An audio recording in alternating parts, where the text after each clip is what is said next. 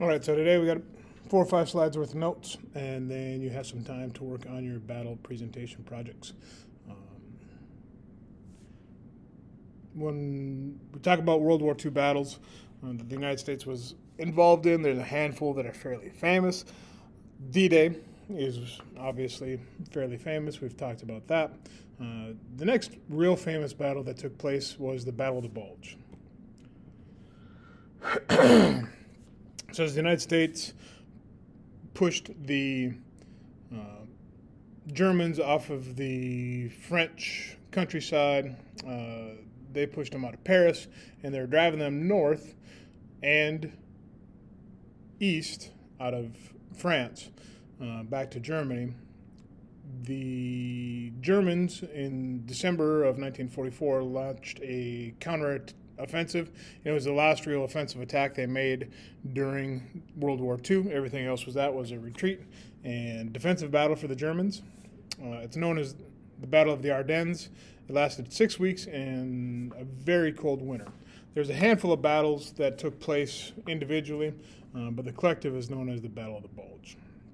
The reason it's called the Battle of the Bulge is because the Germans were able to cut through the center of the U.S. line and make a U shape in it. So you had a straight line and then a U that, that bowed around or bulged around the German offensive that cut through the middle of it.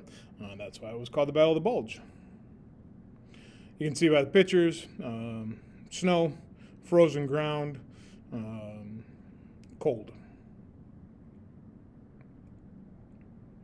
So the way the Battle of the Bulge worked, there's, there's a couple things that, that made it uh, significant. Uh, one thing is that the 101st Airborne were surrounded in a Belgian town of Bastogne. Um, so the Germans, as the Germans made the offensive attack, they were able to surround the 101st Airborne. The Germans asked the general of the 101st Airborne, General, general Anthony McAuliffe, to surrender on December 22nd, and he replied, nuts to that. So if you ever hear the um, expression nuts to that, that's where it came from. On Christmas Day of 1944, it finally stopped snowing. Uh, the sun came out.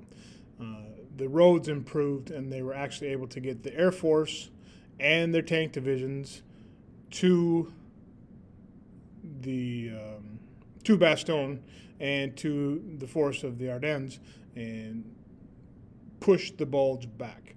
Now, a couple things that made this difficult for American troops and the Allies were the fact that the ground was frozen and there was a lot of heavy shelling going on. And if you've ever tried to dig a hole in frozen ground, uh, you don't get very far. So they were trying to dig foxholes as these bombs were exploding around them, and trees were uh, getting shattered on top of them, and they really didn't have any place to hide, so they were very exposed, and that's one of the things that made it um, fairly costly.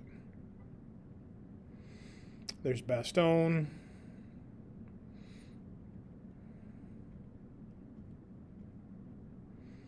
So on December 26th, after the weather cleared on, on Christmas Day, December 26th, Patton and his Third Army broke through the German lines and rescued the surrounded troops. The Allies then began to push the Germans back, and the battle ended on January 25th of 1945.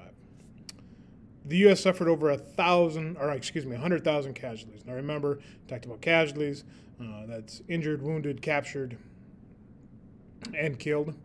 So um, not all of those. It didn't, not obviously not 100,000 fatalities, but it did take a significant toll on the U.S. Armed Forces and on the 101st Airborne in particular.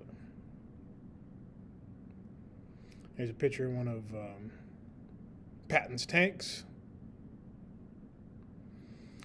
So the next thing we'll talk about is as the United States started to make their way into Germany and through Germany, they started to discover the concentration camps.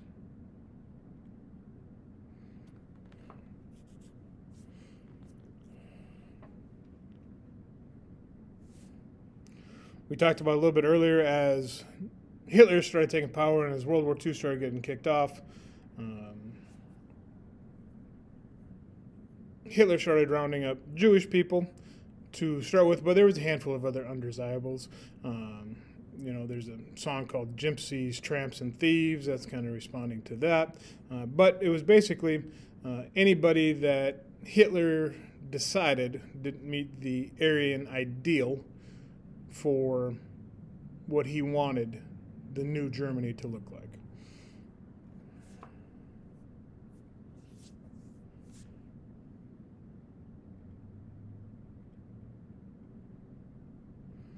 about 5.9 million Jews and millions of other undesirables. Now, how many, like I said, undesirables are, are a wide group of people.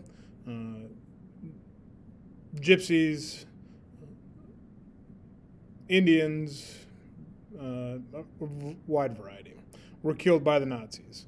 Uh, as possibly as many as 5 million other people. So it kind of depends on, it's, it's, a, it's a guesstimation. Um, the only reason they have a fairly decent number on the Jewish population is because those were recorded, but uh, it's tough to tell exactly how many people were, were killed. But as concentration camps started out, uh, they started as a work camps for a lot of places. And when we talked about the rockets, we talked about how some of those were forced labor camps and, and how many, you know, 10,000 people died. Um, helping the Germans produce the rockets. So, uh, but as soon as the war started to turn to the negative, those went from work camps to extermination camps.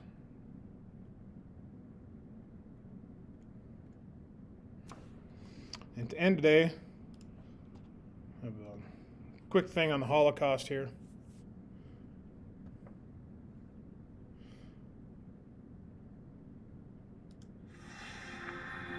and we won't watch the whole thing. We'll just take a, a quick view of it so you can kind of get a feel for it.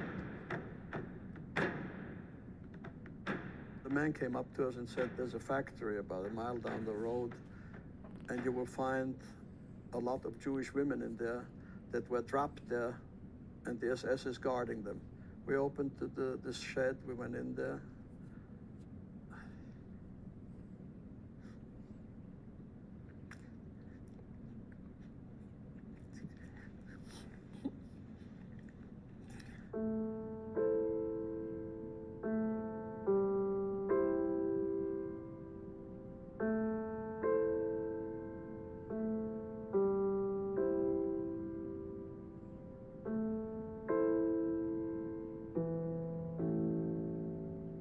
Though fighting still raged in the Pacific theater, World War II in Europe officially ended with Germany's unconditional surrender on May 8, 1945. Allied armed forces advanced across Europe in the war's final stages, relentlessly pursuing the retreating German army.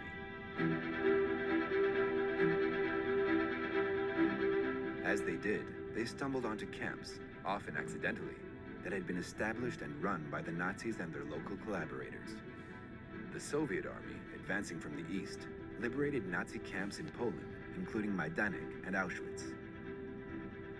The British and Canadians, advancing from the west, liberated Bergen-Belsen and camps in northern Germany. The Americans, our focus here, liberated Dachau, Buchenwald, and other camps. As their armies advanced across Europe, the Allies found thousands of people imprisoned in camps. They encountered piles of corpses and thousands of skeletal prisoners on the verge of death from malnutrition and disease. This was their first encounter with the horror of what would come to be known as the Holocaust. They began to understand that the Nazis had committed atrocities against civilians, the vast majority of them Jews, on an unimaginable scale and that these atrocities were very different from the deaths caused by conventional warfare. A new category of crime had to be recognized to describe the intentional attempt to destroy a people. This crime came to be known as genocide. The soldiers were the very first outside witnesses of the Holocaust, an unprecedented case of genocide.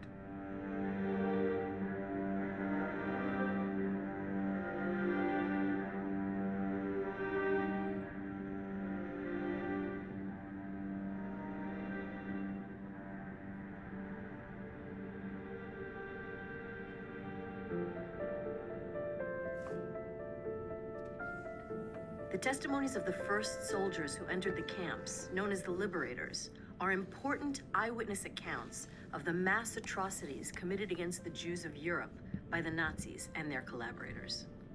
Hardened combat veterans, the American GIs were used to death. Many had been fighting for years, but they had never seen killings of civilians on the massive scale they discovered. Their first encounters with Holocaust survivors at this unique moment in time give us an essential and intensely human perspective on the difference between military war and genocide. Leon Bass was 20 years old and was among the first U.S. soldiers to arrive at Buchenwald. I can never forget that day. Because when I walked through that gate, I saw in front of me what I call the walking dead. I saw human beings, human beings that had been beaten, had been starved, had been tortured. Uh, they'd been denied everything. They had skeletal faces with deep set eyes. Their heads had been clean shaved, and they were standing there and they were holding on to one another just to keep from falling. I saw the clothing of little children, the little children that didn't survive. Up against the wall, there were mounds of clothing. I saw the caps, sweaters, the stockings, the shoes. But I never saw a child. Harry Mogen was a Jewish refugee from Nazi persecution. He reached the United States and became a soldier and a liberator. And, and you saw uh, women on, on, on the floor, on, on wooden pallets. When I say women, you saw skeletons, rags hanging on them, no shoes, bones instead of faces. And the stench was so horrible. It's hard to describe. What the American soldiers found at Ohrdruf, a subcamp of Buchenwald, was so grisly that General Dwight D. Eisenhower, then the supreme commander of the Allied Expeditionary Force in Europe, together with Generals Patton and Bradley, arrived to inspect the camp for themselves. After his visit, Eisenhower cabled. The things I saw beggar description. The visual evidence and the verbal testimony of starvation, cruelty, and bestiality were so overpowering as to leave me a bit sick. I made the visit deliberately in order to be in a position to give firsthand evidence of these things, if ever, in the future, there develops a tendency to charge these allegations merely to propaganda. These words are now engraved on the wall of the United States Holocaust Memorial Museum in Washington, D.C. Eisenhower's eyewitness testimony reveals that what he saw at Ohrdruf left a powerful impression. Eisenhower foresaw the problem of disbelief that could fuel the denial. And that's where we'll end today.